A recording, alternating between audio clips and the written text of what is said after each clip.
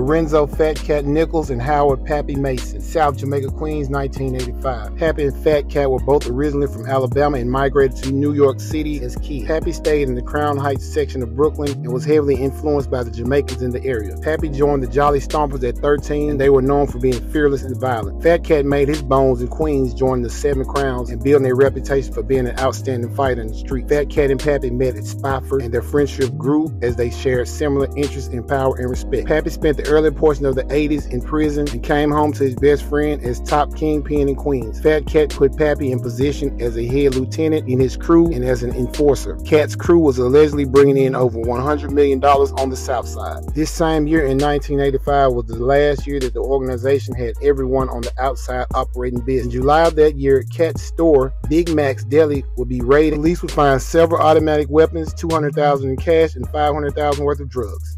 Like, share,